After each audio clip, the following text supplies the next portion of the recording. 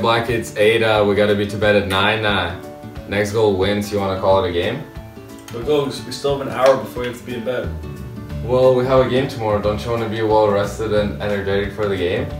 You know what, I think you're right. Let's turn off the Xbox.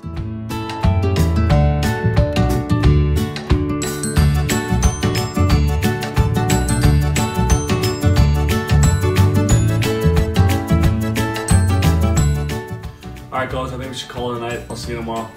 Okay, Blackie, see you in the morning.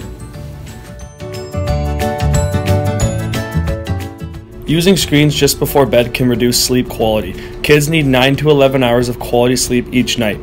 The more sleep you get, the more energy you'll have the next day.